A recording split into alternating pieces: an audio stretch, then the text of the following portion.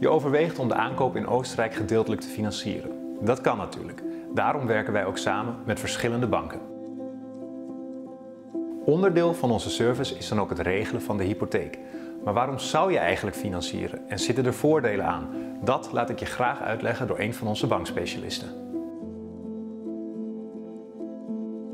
Eine Finanzierung ist sogar sehr interessant. Dafür gibt es mehrere Gründe.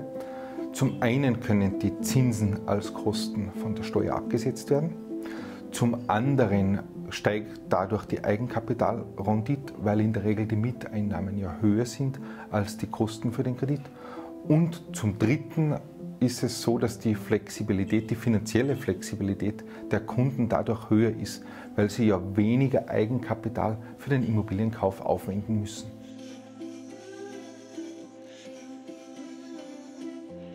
Wir bieten verschiedene Varianten an.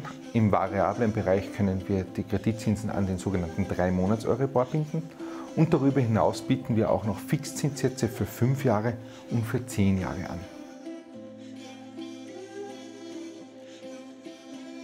Sondertilgungen sind prinzipiell immer möglich.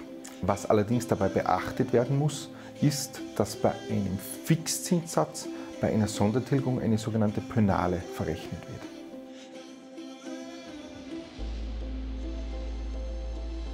Das ist eine gute Frage. Ähm, prinzipiell freuen wir uns immer sehr, wenn Ausländer bei uns eine Finanzierung machen wollen. Denn Personen, die im Ausland investieren wollen, die haben in der Regel eine sehr, sehr gute Bonität. Und wir als Bank sind natürlich immer daran interessiert, neue Kunden zu gewinnen, die eine sehr gute Bonität haben.